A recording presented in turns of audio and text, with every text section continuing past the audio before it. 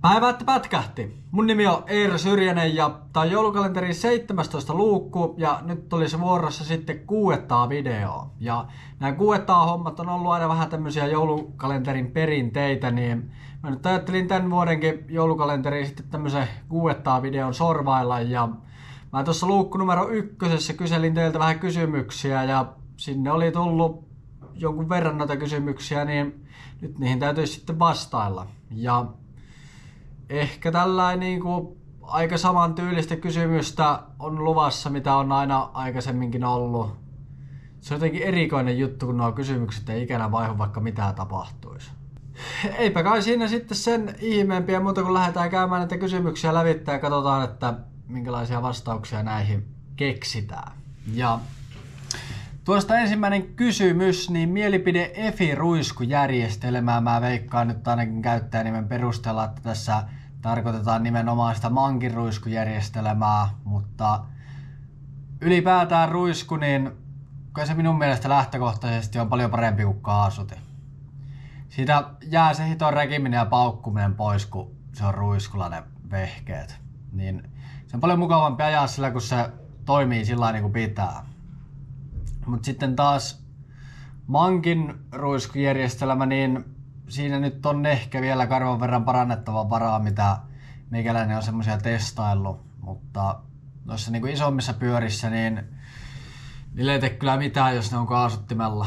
Kyllä se on niin kuin ruiskupeleillä ajeltava. Milloin mankiprojektia ja milloin manki, niin mullahan siis on manki, mutta tai se on ollut joskus manki, siitä ei taida olla kuin runko ja takaharukka enää jäljellä, mutta Mä sitä silloin joskus aikoinaan, kun se meikäläiselle tuli, niin yritin rakennella ja siitä tuli silloin videokin, mutta siitä ei tullut ikinä sitten niin hyvää kuin mä ajattelin ja siinä olisi pitänyt aivan tolkuttomasti ostaa kaiken näköisiä palikoita, niin mä en sitä sitten jaksanut oikein ikänä rakentaa sillä niin kuin ns. täydelliseksi. Sitten se vehje jäi vähän niin kuin elinten luovuttajaksi sinne ja siitä on kyllä niin kuin aika hyvin käytetty kaikki osat noihin kaikkiin muihin projekteihin, mitä siitä on vaan irti saatu. Ja mä veikkaan, että tota, mankiprojektia ei ole tulossa hetkeen. Mulla ei oikein nyt varsinaisesti ole minkäännäköistä mielenkiintoa lähteä mankia rakentamaan, koska mä en välttämättä semmoisella oikein mitään tee, mutta eihän sitäkään ikään tiedä, jos jostain sattuu jonkun hyvän aihion löytämään, niin miksei sitä semmoistakin rakentaisi, mutta nyt ainakaan sillä niin tarkoituksellisesti niin on ollut mielen päällä mankin rakentaminen. Mutta ehkä joskus. Milloin aloitit stunttailu ja mistä mä sain idean tähän stuntin ajamiseen, niin Tää ei ollut mikään semmonen yhden yön päähänpistos, että alan ajaa stunttia, vaan se oli jotenkin aina pienestä asti semmonen tyyli, että eikä ei ole voinut millään vehkellä ajaa normaalisti, vaan se on aina pitänyt ruveta heti kikkailemaan. Kun polkupyörälläkin oppii ajaa ilman apupyöriä, niin sen jälkeen opeteltiin heti ajaa yhdellä kädellä ja sen jälkeen ilman käsiä. Niin se on vähän niin kuin lähtenyt toi stunttitouhu itsestään rullaamaan ja milloin mä sitten niin kuin oikein virallisesti aloitin tämän stunttailun, niin no se oli varmaan sitten niin kuin 2016, kun mä hommasin ekan ison pyörä. Niin silloin aloittiin ajaa niin kuin stunttia oikeasti sillä niin kuin tosissaan. Että kyllähän sitä nyt tuli niin kuin aikoinaan ala-asteella polkupyörällä kikkailtua ja mopoikäisenä sitten mopolla kikkailtua ja kevarilla ja jne jne, mutta kyllä niin virallisesti tämä stuntti-homma alkoi sitten 2016, kun alkoi ajaa tuolla isolla pyörällä. Ja se oli niin kuin ensimmäinen semmoinen niin kuin kilvetön pyörä tai ei katulaillinen peli. Koska kyllähän nyt varsinkin kilvet on olemassa, mutta ei se lähtökohtaisesti ole tieliikennekeleponen peli. Silloin se varmaan niin alkoi oikein niin virallisesti, mutta ennen sitäkin on tullut kyllä paljon kikkailtua. Paljon sun outfit maksaa ja ootko harrastanut muuta kuin stunttailua? Niin aloitetaan nyt vaikka tuosta jälkimmäisestä kysymyksestä, että onko mä harrastanut jotain muuta kuin stunttailua, niin en nyt välttämättä ihan niin hirveän tosissaan. Joskus nuorempana tuli aika paljon lasketeltua ja skeittailtua, mutta ne on tässä ajan kanssa vähän jäänyt ja joskus ihan pikkunappulana tullut kokeiltua jotain noita joukkuepelejä, mutta ne ei ollut kyllä meikäläisen juttu ne. Kai se oikeastaan aika lailla ollut toi stunttihomma alusta loppuun niin kuin mukana. Paljon mun outfit maksaa? One by one ja aloitetaan sukista. Puuman sukat äiti ostanut. Priceless. Housut. Saatana Jeesuksen aikaiset nää Sweet Pantsit. En tiedä onko enää olemassa Sweet Pantseja, mutta joskus 10 vuotta sitten ne oli kova juttu ja olisiko ne ollut nämä housut jonkun ehkä 80 silloin. Huppari on ilmanen, lippalakki on ilmanen meikäläiselle ja kalsarit on. Ne löytyy. Eli outfit ei tällä hetkellä ole hirveän kallis. Sitten löytyy tietysti tämmönen nälkäpelipinssi. Sekin on priceless, mutta arvokas. Ja siinä se sitten olikin. Taskut on tyhjiä. Nyt ei ole mitään hirveän kallista fittiä päällä. Mikä on lempi kaksipyöräinen, mitä mulla on ikänä ollut, niin mä ehkä vastaisin tähän semmoisen äärimmäisen kovan kaksikon, eli Kawasaki ja toi PV, mikä mulla nyt tällä hetkelläkin on. Kawasaki on ylivoimaisesti pisimpään meikäläisellä ollut menopeli ja sen kanssa on kyllä tullut takuttua aika paljon. PV ei ole ihan niin kauan ollut, mutta yllättävän kauan PVksi tuokin on nyt meikäläisellä tällä hetkellä ollut. Niin kyllä ne on varmaan nyt tähän hetken lempparipelit, mitä meikäläiseltä löytyy. Ja on mitä ikänä on ollut. Mistä lähti into rakentaa stunttiskoottereita ja miksi juuri PVS ja mistä lähti idea rakentaa uusi PVS?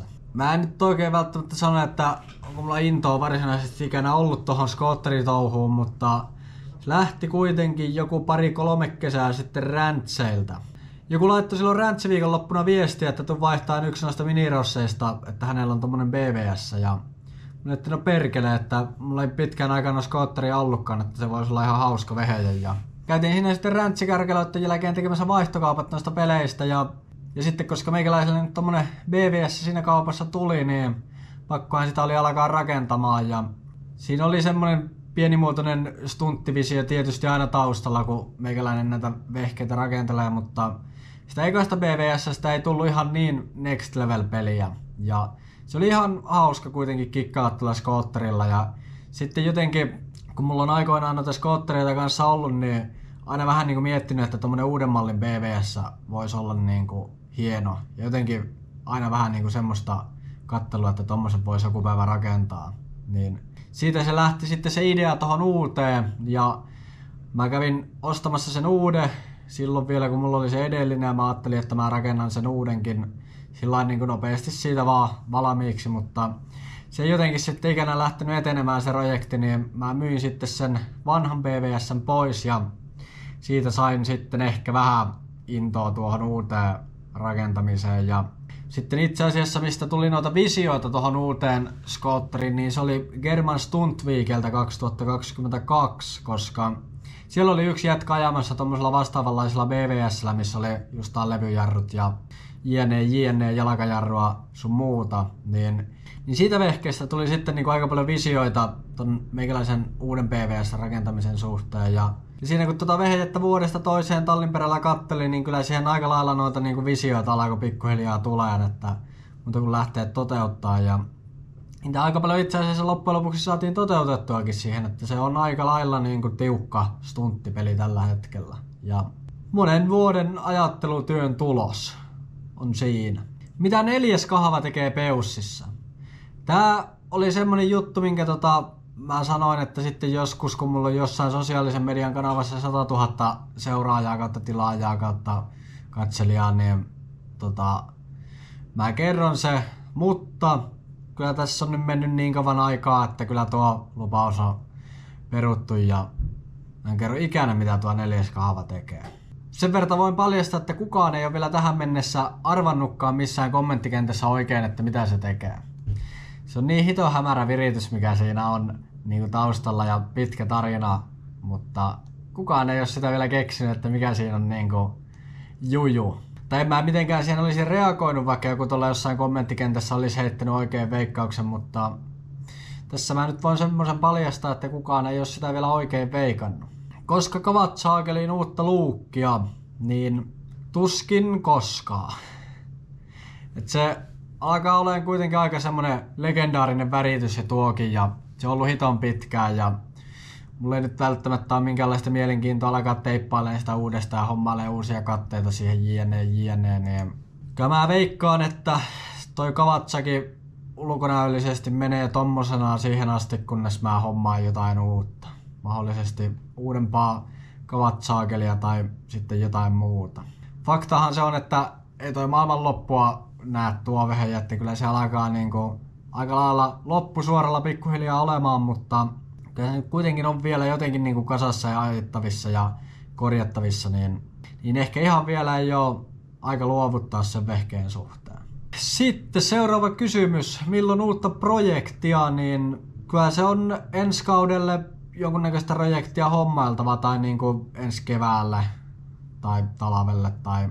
Nythän tässä itse asiassa on talavi ja nyt on PV-projekti aloitettu ja Kawasaki-projekti pitäisi aloitella, niin kyllä tässä niin kuin projektia on, mutta milloin niin kuin uutta projektia, niin kyllä mä veikkaan, että täytyy tosiaan ensi kaudelle jonkunnäköistä uuttakin projektia visioida. Ja sitten näistä uusista projekteista, niin aika paljon kyseltiin, että milloin se Derby-projekti nimenomaan. Niin ehkä mahdollisesti se uusi projekti voisi ensi vuonna olla tommonen Derby.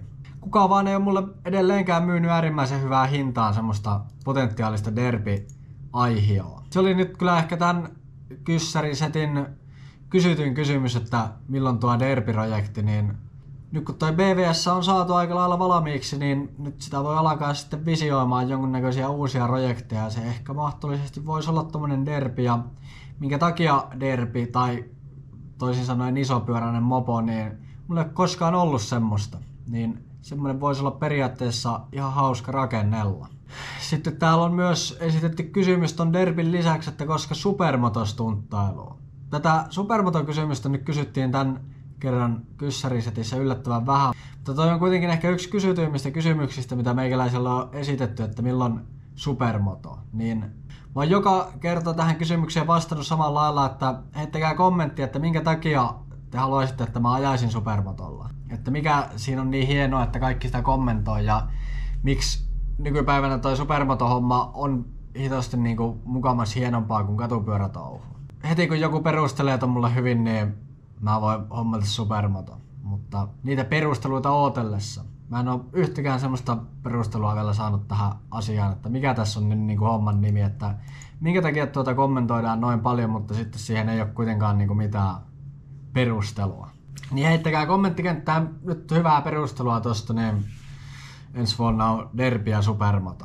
Milloin vaihdat lukitusnäytön taustakuvan? Ja sehän nyt on siis tää IPn alkuperäinen taustakuva, mikä meikäläisellä on. Ja mä oon yleensä aina rokannut sillä taustakuvalla, mikä puhelimessa on silloin, kun sen paketista avaa. Mä en oo mies muistiin kyllä vaihtanut taustakuvaa. Ja se ei nyt varsinaisesti meikäläisessä herätä oikein minkäännäköisiä tunteita tuo taustakuva, niin se on minkä se on ja mitä mä nyt siihen laittaisin tuo hito kauniin tota, ylältäpäin otettu rantamaiseman lisäksi, niin jostain PVstä kuvan, niin ei kyllä meikäläisen arkeen muuta mitenkään oli se kuva mikä tahansa siinä, niin kyllä mä menen tuolla vakiokuvalla ja se on hyvä.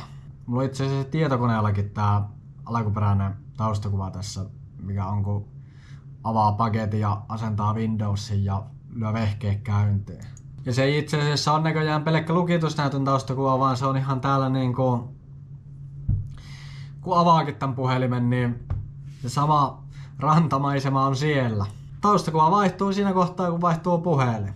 Yleensä niissä ei ole kyllä kahta kertaa peräkkäin ollut samaa taustakuvaa, kun on pakasta avannut puhelimen.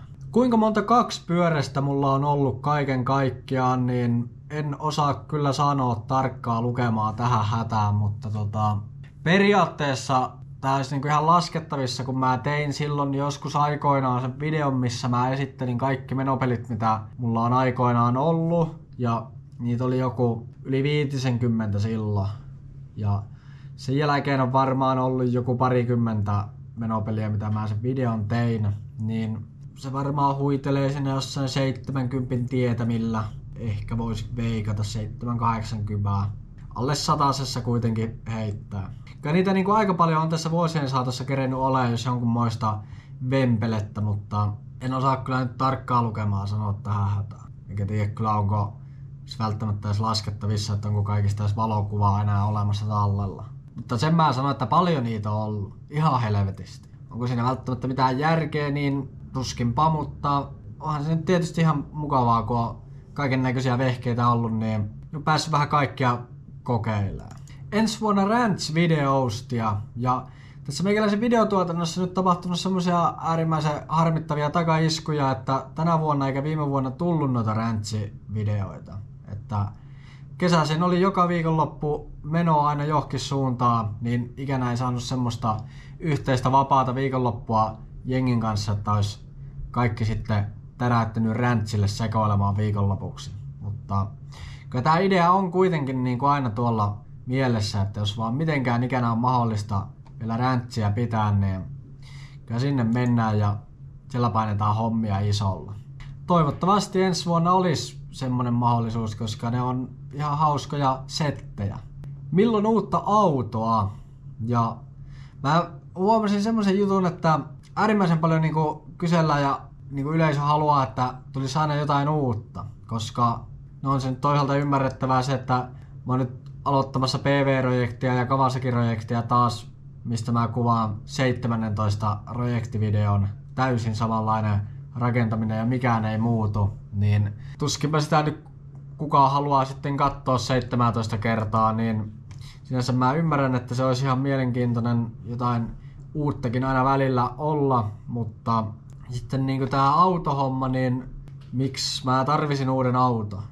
Tuohon on hitto T4 kunkkukoppa, niin se on niin piru hyvä peli, että sillä pääsee ihan mihinkä haluaa ja ei paljon tarvitse huoltaa, niin hitto kun sitä mennä vaihtaa vaikka. Tietysti joku rinteri olisi hito hieno, kun se on paljon isompi ja sinne mahtuu enemmän jengiä ja mahtuu enemmän romua, mutta jotenkin mä kyseenalaista vähän niiden toimintaa, mitä noiden jätkien juttuja on kuunnellut, että ne oikein meinaa välttämättä toivotulla tavalla rokata, niin portteri toimii. Ja silloin äärimmäisen mukava päästää, kun sen ei käytännössä tarvitse kun polttoainetta laittaa tankkia antaa soittaa, niin se liikkuu kuin juna eteenpäin ja äärimmäisen mukava ja pehmeitä kyytiä, niin ei ole kyllä auton vaihtaminen nyt toistaiseksi vielä niin kuin mielessä. Mikä on paras tapahtuma, missä mä oon käynyt, niin mä vastaisin tähän ehkä, että Smashit Virossa järjestetty, tai mä oon ollut mukana siinä tapahtumassa vuosina 16, 17, 18 ja 19. Ja 19 oli viimeinen vuosi, kun ne järjestettiin ja, ja siinä oli semmoinen juttu, kun ne järjestettiin semmoisella vanhalla armeijan lentokentällä, niin valtio halusi omaan käyttöönsä sen lentokentän takaisin, niin siellä ei enää saanut järjestää noita tapahtumia, niin sen takia se homma loppu. Mutta kyllä se on ehkä varmaan ollut kaikista paras tapahtuma, missä mä oon käynyt. Kyllä toi German Stuntweekikin niin äärimmäisen mahtava tapahtuma, mutta The Best Showsta saa vähän pientä miinusta kyllä se tapahtuma, koska ne on maksettuja sijoituksia, mitä siitä saa. Et sitä ei voi ajamalla voittaa ja sitten koska se nyt on kuitenkin hiton siisti kisa, niin siihen tekisi melkein aina mieli osallistua ja vaikka tämän asian tiedostaa, niin silti sitä saa aina mielensä pahoitettua, koska ne on maksettuja ne paikat siinä. No Smashin reissut on kyllä varmaan ollut ylivoimaisesti parhaita. Siellä jos jossain niin sattuu ja tapahtuu niin hiton hämäriä asioita, että kai ihmisetkin oli ihmeissä. Sitten viimeinen kysymys. Kuinka paljon on mennyt rahaa kaikkiin kaksipyöräisiin? Suluissa osto- ja tuunausosat ja kuinka paljon on mennyt Kawasakiin rahaa, niin tämä on semmoinen kysymys, mihinkä mä en kyllä valitettavasti pysty vastaamaan tai antaa mitään tarkkaa numeroa, koska ei ole tullut kyllä minkäännäköistä kirjaa pidetty, että mitä näihin vehkeisiin on mennyt. Ja koska näitä on nyt viimeiset 20 vuotta ollut yli 70 menopeliä, niin ei niinku mitään hajua, että paljon näihin on mennyt, mutta kuitenkin sillä niin oikeastaan aika lailla kaikki. Kaikki mitä on ollut, niin näihin on mennytkin. Veikkaan, että se on aika paljon, mutta mua toisaalta kiinnosta. Ja sitten, koska tämä nyt on tämmöistä harrastustoimintaa, niin eipä sitä oikein kannata harrastukselle laskea minkäännäköistä hintaa. Ja oikeastaan jos tämmöisiä hintoja alkaa vaan laskea, niin siitä ei tule kuin paha mieli. Että paljon Kawasakiin on mennyt rahaa, niin siihen on itse asiassa olemassa semmoinen karvan verran tarkentava video, että mitä niin stunttipyörän rakentaminen suurin piirtein tulee maksamaan. Mutta sekään nyt ei kerro koko totuutta tuosta meikäläisen Kawasakista, koska siihen on nyt joutunut ostelemaan paljon kaiken näköistä muutakin, mutta siitä saa tuohon Kawasakin kysymykseen vähän semmoista suuntaan antavaa hintaa. Ja se tietysti kun moottorikäyttöisellä vehkellä ajelee, niin niistä voi hajota ihan mitä vaan, niin niistä niitä kustannuksia aina koituu ja sitten kun niitä tuunaa läärakennella jne, jne, niin ei se nyt ihan täysin ilmaista hommaa on, mutta en kyllä taida alkaa mieltäni pahoittaa ja miettiä, että paljon niihin on mennyt rahaa. Se on mennyt minkä se on. Kyllä. Se oli siinä tämän kerran kyssärit. Ensi joulukalenterissa sitten uutta kuuettaa videoa. Eipä kai tässä sitten sen ihmeellisempiä. Heittäkää kommenttia, mitä mieltä olitte tästä videosta ja tilakkaa tää meikäläisen YouTube-kanava, minkä seuraamaan Instagramissa ja Snapchatissa ja minkä ostaa meikäläisen omaa fanimertsiä, linkki tuossa jossain ylällä ja deskissä ja tuota... Kyllä, rauhallista jouluodotusta ja näihin kuviotunnelmiin. Kiitos, hei. So let it rain on your keep it close to your heart. All of the.